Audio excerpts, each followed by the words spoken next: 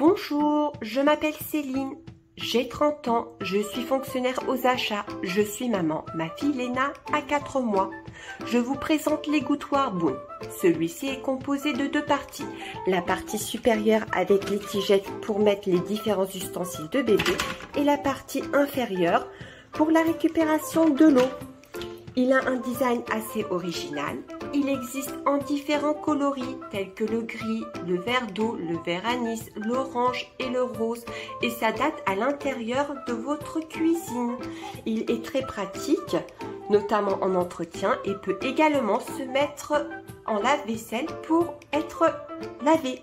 Il est très pratique puisqu'il s'adapte à tous les ustensiles de bébé de marques variées tels que les différents biberons, tels que les petits pots tels que la cuillère et le petit goupillon ainsi la petite tétine de bébé.